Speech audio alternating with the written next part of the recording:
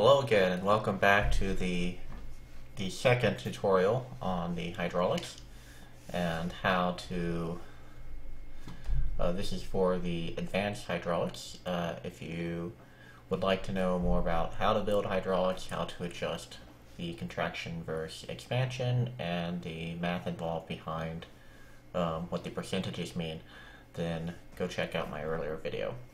Um, the first thing we're going to talk about um, in this video or in this section is being able to attach your hydraulics to different points on the bridge or on the each of these uh, sections here are a one lead segment that is being lifted up. Uh, typically the way new players start is they will attach they'll always have the hydraulic attached to the, the point of the road. So um, but there are many times uh, where you don't want to attach your hydraulic to the point of the road. You need to attach it um, somewhere else. Um, so what I've got here is I've got a whole bunch of different samples of the uh, hydraulic being attached to different points. Um, oh, well, device is going to fail when I first start out, so I'm going to have to replace some steel. Um,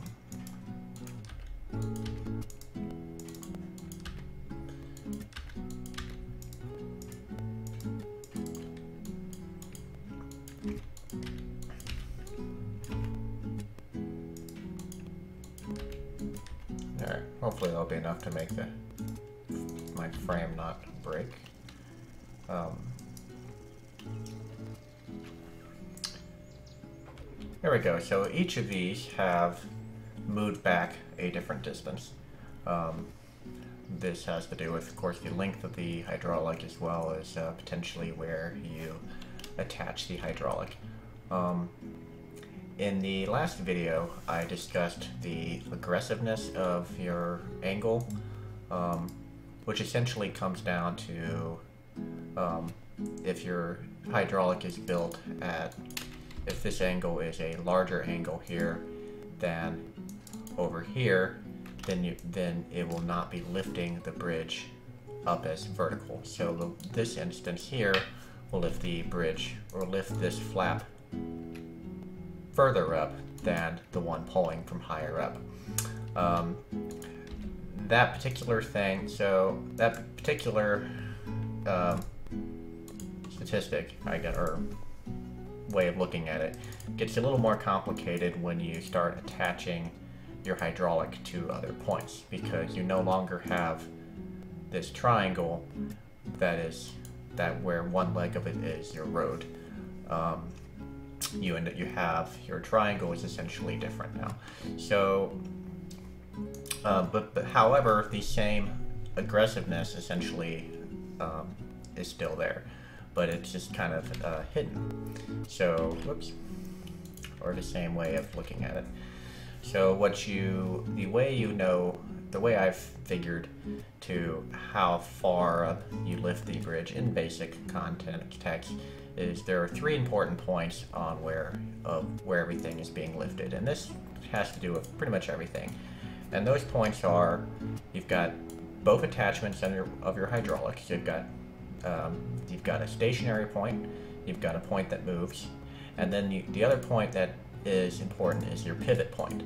Um, so if I draw a, draw a steel rod, this right here is my is a triangle that kind of represents um, that that this is a if this is will kind of represent your aggressiveness. Um, the way I've figured is that when you bisect your line right here, if you drew if this was like a 90 degree angle, I think it's like you take, this would be the, uh, the longest side here, and if you uh, found the height of your triangle, like bisecting that at a 90 degree angle, then the, the shorter your height is, then the further back your bridge would be lifted. Um, after a while, you just kind of figure it out and you kind of wing it. So if this is my angle here, then that will be giving me a similar pull to where if I I think if I go about here, um, let's, let's test that out. kind of just uh, doing this as I go. So, um, so yeah, they're about approximate. So, um, so essentially my triangle here is a lot more apparent. It's to the tip here. This is your stationary point, you've got your moving point, and you've got your pivot point. Um, this triangle is a very similar shape to the one on the left, and therefore it lists a similar distance. Um, now that's important when you start, um, sometimes you may want to lift a bridge up um, very far. Um, there's a level that is, but you, there we go. So you end up creating something kind of like this. Uh, if you've played the Edgehugger map, you might have done this, um, or if you, or if your boat, if your point here is right next to your boat and the boat's a little taller than this, then you may need to pull the bridge vertical, and you may end up have, you may end up putting your hydraulic almost flat like this. Now one thing that is kind of a disadvantage to doing it this way is the uh, using only one road here is rather weak, um, but you can essentially kind of combat that by trying to, by adding an extra piece in here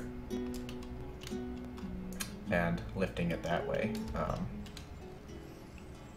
and then you you can kind of you can get your same lift but you applying your force in a different way and many times that will be the difference between uh, your road breaking and your road not breaking. Um, once again you still have your triangle would be uh, you've got your stationary point here, you've got your moving point, and you've got your lift point. So this is a very flat triangle, um, but if I moved it over here, it's going to be a very tall triangle. Now, of course, the length of your hydraulics and what percentage you set it to is also a factor here. Um, you can't ever forget that. But if you're working with a limited number of hydraulics or you're just trying to save budget or whatever, then um, th these are important things to consider. Alright, well, that's kind of a little bit abstract, um, but it's kind of a idea of something to keep in mind and to kind of think about how something a little more definite than just, I guess, aggressive angle um, and how it affects larger sections. Um, the other example I have here is for pulling the large sections of bridge. Um, what I've got here is I've got the same bridge, but I've decided to pull, uh, instead of moving just one section, I've got four sections here that are all connected together. Um, I've seen another thing, I've seen several players that they seem to think you can only move one road piece at a time, but um, that's certainly not true. Um, all you have to do is you've got a frame which is nicely built in steel, and then you've got a moving section which is a different framework. Now this part right here, um, for the most part, is preventing your road from bending. No matter how, if it's, if your part you're pulling up is 10 road pieces or 2 road pieces, you always need something to stop it from bending. Um, so you're always going to end. This could also be below. And but what I'm going to talk to you about here is essentially where you attach your hydraulic on here.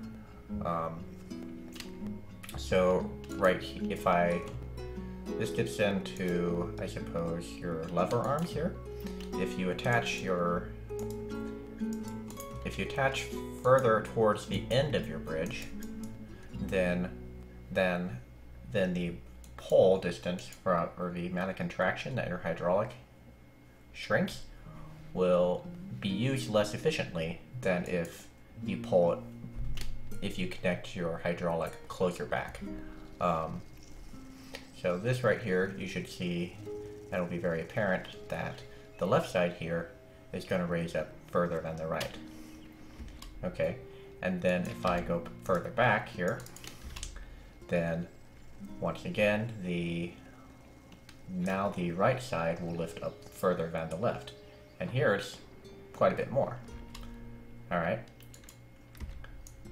and then if I connect here, then it would go even further back if it didn't break.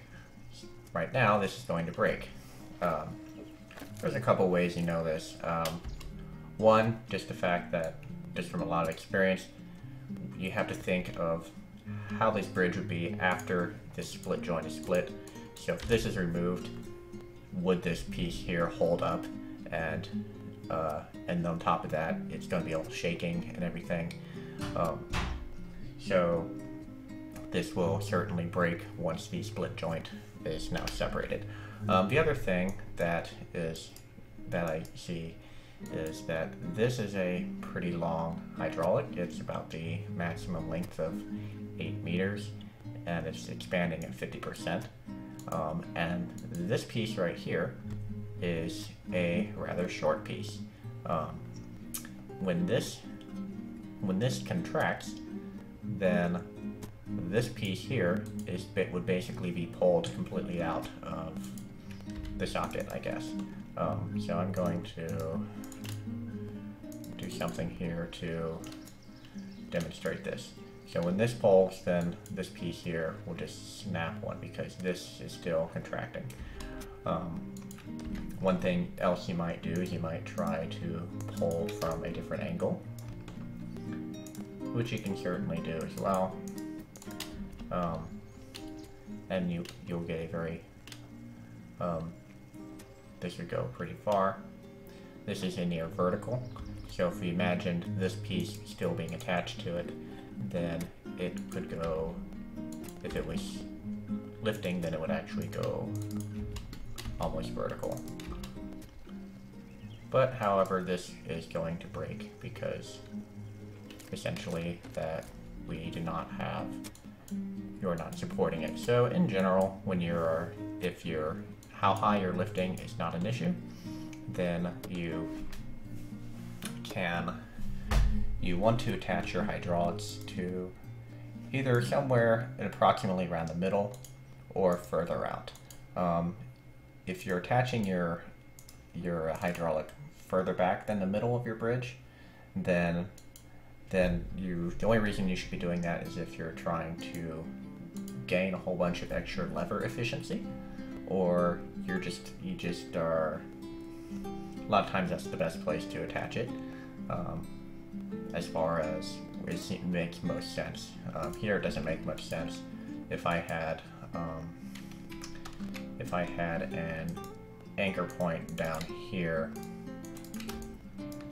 then, and you were trying to lift up, then is that going to reach? No, that's too far. Good. Makes it a good example. And so you'll do this, and I've seen a lot of people do this, even very good players. Um, and this is just going to break every time. Um, and then they start reinforcing this and doing a whole bunch of stuff when really what they should do is figure out how to get this hydraulic to mount further out.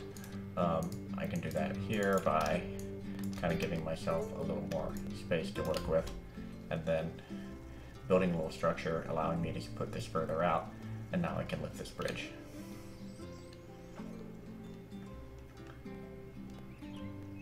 And it goes very high. So, um, uh, the other thing I wanted to talk about was using multiple hydraulics um, to lift your bridge extra far. So um, let's say we want to move our bridge up vertically. Um, I'm going to, oops, I'm going to copy these. All right, is this, this to be too Oh, just barely too far. Okay, so... Okay, I'm lifting this bridge up this direction.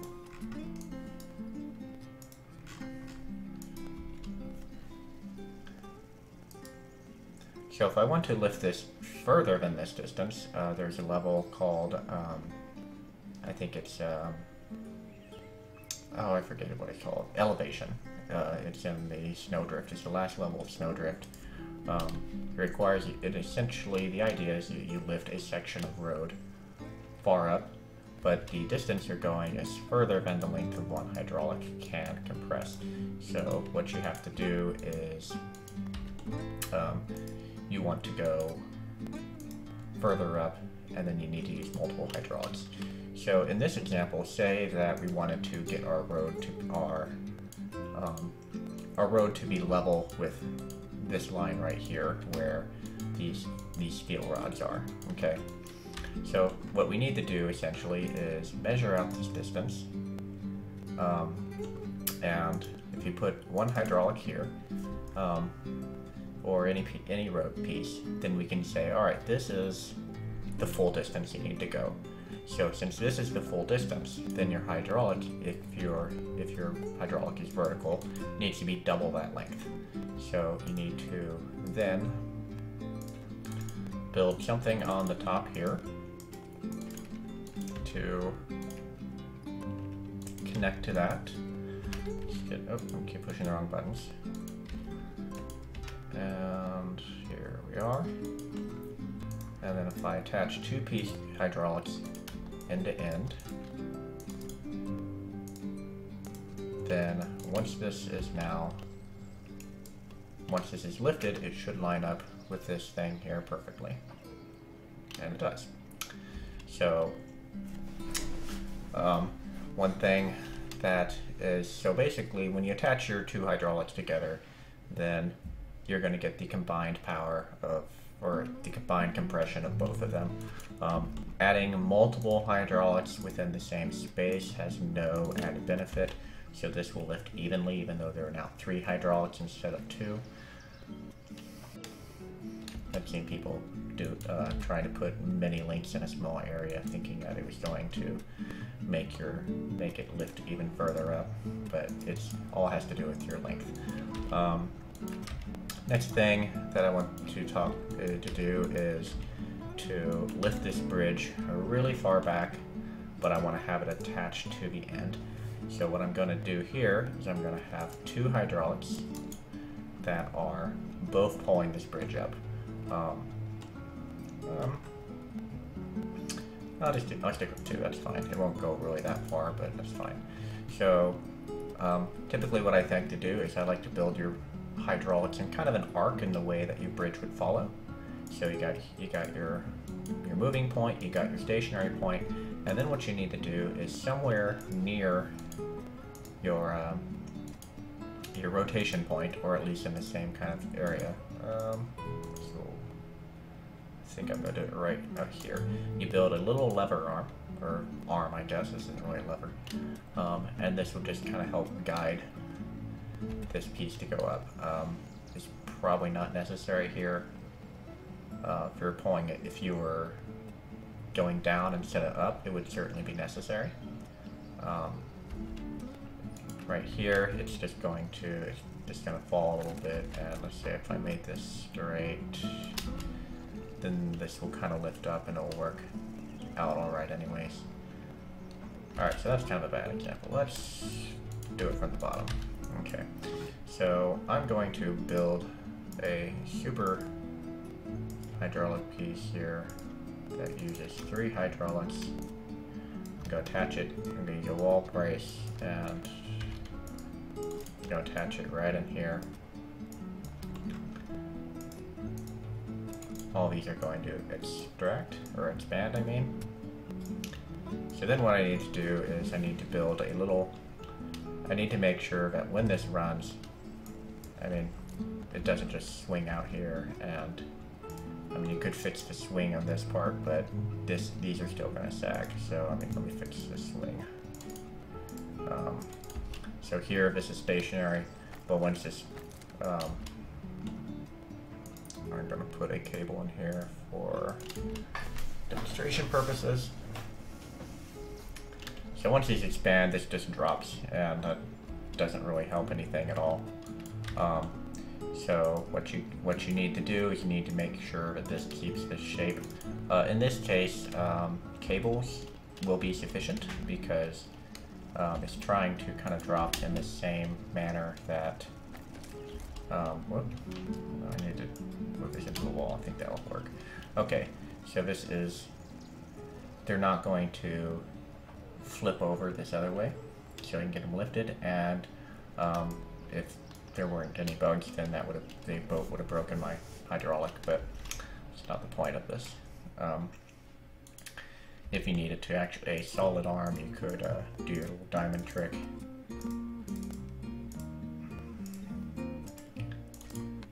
Like so. And then you could have a solid arm that goes across. Or your arm doesn't really have to be your arm doesn't have to have the same point here. So I could have an arm go like here, and that could work. Um, well, let's, let's do that. So this piece here will move. Alright, that looks kind of weird. So that's another way of doing things. Uh, another interesting deal that you might do is you might try to kind of use multiple hydraulics for one purpose. Um, uh, I didn't think about talking about this. Let's, I don't know if I, I'm thinking I'm going to try to use this one hydraulic here to lift the right side of the road as well by essentially kind of creating something that um, allows us to lift. Okay, um, yeah, okay, I think I know how I'm going to do this. So, I'm probably going to do a lot of this type of stuff in my in my uh, videos for and like my workshop videos or various other things. So uh, what I think I'm going to do is I'm going to have okay so if this lifts up then um,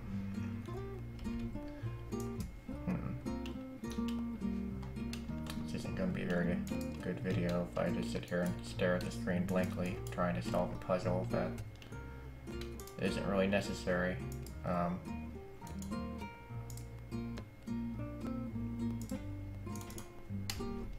I mean, like, you'd have something kind of like this, maybe? Except for this needs to actually resize. Um, How about instead I talk about creating a lever arm for my hydraulic. That sounds more fun. Or at least it seems easier. So one thing I'm going to do is I'm going to create a this is going to be attached to the end. Say I need to do this for whatever reason. Say it needs to be, I need to have it supported here because of the strength, but I still need to lift it extra far. Um, one thing I might choose to do is I'm going to create a lever arm. This arm right here is really long. And then I'm going to make this piece into a triangle. And then I'm going to attach a hydraulic down this and this place. So, um, so this here, you're going to get extra efficiency because you're moving this piece right here in and then that distance is being essentially magnified out due to this. Um, I created a um, workshop level that is designed to use stuff like this. Um, and then, then what you can do is you can, um, if you really get into start crazy things, then you can, uh, uh, you could set up something like like this, where this piece moves, and it's just kind of, I enjoy a lot just playing with these types of things. Um, so, like right now, um, I might actually end up doing this. Let me see if I can. So, I want this to go kind of back. Let's see, I'm going to, so therefore I'm going to attach it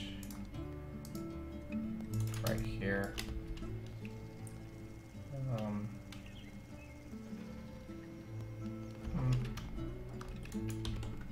don't know if it makes any sense doing that. It's kind of fun just experimenting around. seeing what what you can do.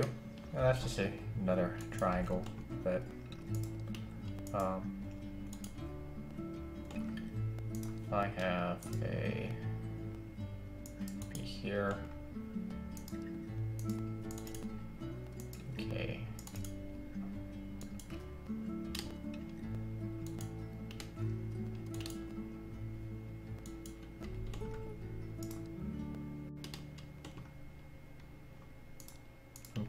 Set on this making the other bridge go up. This won't work because it's going to pull too far.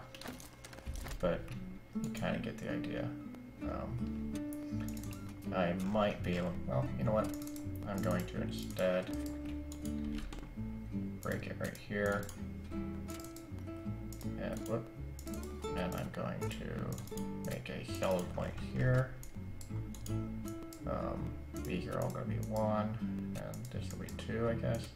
And then what I want to do is lift this section here as well. So what I'm going to do is I'm going to have this kind of piggyback off the same piece that's moving in order to lift this right section. There we go. So now I'm lifting both of these with one hydraulic. Well, um, this is this is uh, I think I've covered at least the main things um, for for this deal. One the main point I wanted to get across was where you attach your your hydraulic and how strong that makes that piece of the bridge. Um, I wanted to talk about the creating the levers and essentially the way of uh, making having a pulling a small arm but having a larger arm attached to it, which is essentially what happens when you attach your when you have your bridge lift from this point as opposed to the point further out. You know, and by the way, you, if you have two here, this will just this will fail miserably. Um, well, it will break your bridge anyway. Um, you, most of the time, you want to you want to have just one pole, one point you attach, and if you if you're trying to use two hydraulics to lift the same item, then you have to make sure they're like pulling at the exact or like the exact correct angle, or that they're um, that the and the that the contraction would have to be different. So, for example, this one you would have to have a lot lesser contraction, I think, and you'd have to. This would be really hard to get correct, and the the hydraulics going at different speeds would make it near impossible to not break that. Um, well, that's all I'm gonna say. Um, if you want to see more about hydraulics, I build a lot of crazy hydraulic things, and I will be putting more of them on my channel. Um, I hope you at least left this video with a better understanding of how to create hydraulics, uh, more to use it in more advanced situations. So have fun and I'll see you guys later.